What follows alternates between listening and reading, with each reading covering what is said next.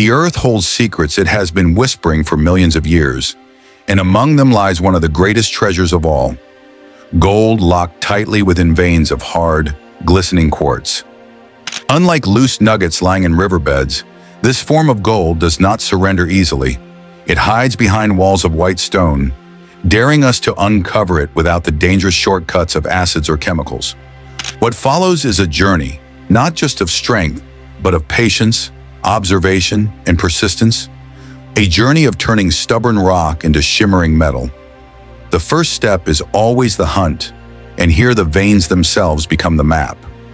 Quartz veins slash through the host rock like frozen rivers, often white or milky, sometimes streaked with iron-stained reds and oranges that hint at mineral activity. These iron oxides act like beacons, telling us that something valuable may be locked inside. The seasoned eye lingers on those veins, searching for subtle glimmers, faint metallic streaks, or the delicate hairline fractures that betray the presence of gold. The prospector bends close, scanning surfaces in daylight, tilting the stone against the sun to catch even the tiniest flash of yellow locked in quartz. It is a slow ritual, one requiring patience and a hunter's instinct. Once a promising vein is identified, the work of freeing it begins. Quartz is no ordinary stone. It is hard, unforgiving, and demands the right touch. A hammer and chisel become the tools of choice, not chemicals or acids.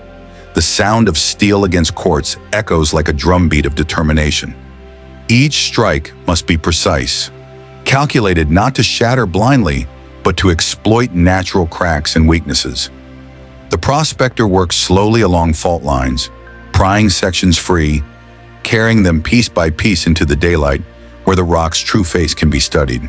Every fracture reveals new surfaces, and with them, the possibility of hidden gold. Now the quartz must be reduced. A large rock may hide riches, but it is only by breaking it down that truth is revealed. Crushing is the ancient method, as old as the very act of gold hunting itself. A heavy hammer or mallet pounds against stone, and quartz crumbles under relentless pressure. The process is brutal, yet strangely methodical.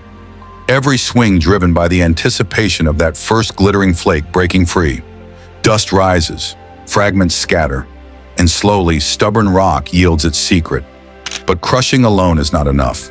The gold, heavier than quartz, must be separated. The prospector gathers the broken pieces, grinds them finer, until what remains is a powdery mixture of quartz dust and metallic fragments. At this stage, the timeless principle of gravity takes over. Gold, being far denser than quartz, will always sink while lighter particles wash away. It is here that water becomes the prospector's silent ally. The powdered material is swirled in a pan, the motion careful, circular, deliberate. The lighter quartz dust lifts and drifts off with the water, leaving behind the heavier fragments. Slowly, painstakingly, the pan reveals its treasure. Tiny golden flecks cling to the bottom, too heavy to be carried away. It is not a rush, but a revelation, a glimpse of reward for the labor that brought stone to dust. In this way, gold begins to emerge, not through harsh chemicals, but through simple natural forces, muscle, patience, and gravity. And yet, this is only the beginning. The quartz has given up its first whispers of treasure, but greater methods remain to be revealed. Techniques that refine, concentrate, and draw out even the smallest traces of hidden wealth without the sting of acid or the burn of chemicals. The journey is far from complete. The pan holds its promise, but those flecks are only the beginning. Within every piece of quartz that has been crushed lies more, sometimes hidden so finely that the naked eye alone cannot see it. To stop now would be to leave behind the very wealth that nature has locked inside. And so, the process deepens, moving from simple crushing into something far more delicate. The fragments that remain after the first pounding are gathered once more. What was reduced to coarse grit must now be taken further, ground into an almost powder-like consistency. Traditionally, this is done with a mortar and pestle of stone or metal, each strike reducing the quartz into smaller and smaller particles. The sound is steady, rhythmic, and strangely hypnotic. The voice of persistence echoing through the yard, the hillside, or the open field where the prospector works. As the dust builds, it clings to hands and tools alike, a fine reminder that gold never comes easily. Every grain of quartz must be broken so that no trace of precious metal remains locked within. With this finer powder comes a new opportunity. Water once again becomes a silent ally. By washing the crushed powder in a pan or a small sluice, gravity does what no acid could ever do. The lighter quartz dust floats and drifts away, while the gold, unyielding in its weight, clings to the bottom, unwilling to leave. Swirl after swirl, rinse after rinse, the prospector watches as the separation sharpens until only the heavy shining particles remain. Some are mere specks, others small flakes, but together they begin to form a collection, a concentration of treasure painstakingly coaxed from the earth. Yet even here, refinement is possible. Not all gold lies in dust or flakes. Sometimes fragments of visible metal still cling stubbornly to quartz, refusing to break away entirely. For this, the prospector turns to the art of handpicking. Each fragment of quartz is inspected closely, sometimes with the aid of a magnifier. Under the bright light of day, one can spot where the yellow gleam of gold veins through the white stone. With careful fingers, these pieces are separated from ordinary fragments. Some may hold veins so rich they can be admired as specimens in their own right. Raw, natural displays of gold coursing through quartz, as beautiful as they are valuable.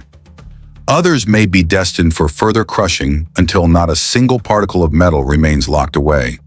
But for the finest dust, the elusive specks that slip between cracks of rock and grain of sand, another ancient method is called upon, Sluicing. A small sluice box, simple yet powerful, allows water to carry lighter material away while capturing the heaviest. Riffles within the sluice trap gold particles, forcing them to settle while everything else flows downstream. The process is mesmerizing, water flowing endlessly while the precious metal clings tightly as if reluctant to leave its resting place. Slowly, the sluice concentrates what the prospector has fought so hard to free, collecting not just gold, but fragments of black sand and other heavy minerals that accompany it. The black sands themselves present a new challenge. Dense and stubborn, they often cling to gold, like a shadow. Without chemicals, the separation requires ingenuity. The prospector may use a magnet, drawing away the magnetic particles of iron-rich sands, leaving the non-magnetic gold behind. The process is slow, requiring patience, but each sweep of the magnet cleans the concentrate further, revealing more of the bright treasure beneath. It is a delicate dance of nature's elements, gravity, magnetism, and human persistence, all working in unison. Without acids, without modern chemicals, how can we take the final step? The answer lies in one of the most ancient tools of humanity, fire. When heat is applied to concentrates, whether through a simple charcoal furnace, a clay crucible, or even the embers of a carefully tended campfire, something extraordinary happens. Gold, with its high melting point, begins to gather and fuse, while lighter impurities turn to ash or separate. This was the way of forgotten prospectors, to harness nature's own flame to transform dust into droplets, droplets into a bead, and a bead into a nugget. It is slow, it is painstaking, but it is pure. The metal that emerges carries no stain of chemical manipulation, only the fingerprints of earth, water, and fire. At last, imagine holding in your hand a small glowing bead formed from fragments once hidden deep inside stone. This bead is not just gold, it is history, science, and mystery fused into a single shining object. Each particle of it was once locked away for millions of years, waiting for human hands to find, free, and cherish. And here lies the suspenseful truth. This method, though forgotten by many, was the very foundation of the great gold rushes of history. It built empires, toppled kingdoms, and set thousands of seekers wandering across wild frontiers, all with nothing more than rock, water, gravity, patience, and fire. What is gold if not a reflection of human spirit? It resists corrosion, it resists destruction, and yet, when treated with care, it bends, melts, and takes new form. The prospector who extracts gold without chemicals does more than claim wealth. They honor nature's process, unchanged for millennia. And perhaps the greatest treasure of all is not the beat in the hand, but the knowledge in the mind. That in a world of shortcuts and chemicals, there remains a path carved by patience, endurance, and respect for nature. So now, when you see a rock glittering with possibility, remember this. The earth still hides treasures in plain sight, waiting for those who know the old ways. No acids, no chemicals, no shortcuts, only the raw forces of nature. And that is where EGS Pro stands, uncovering not just gold, but the secrets that lie beneath every stone. Stay tuned, because the story of Earth's hidden wealth is far from over. Tomorrow's rock might hold the next secret. This is EGS Pro, where knowledge is the real gold and every stone has a story.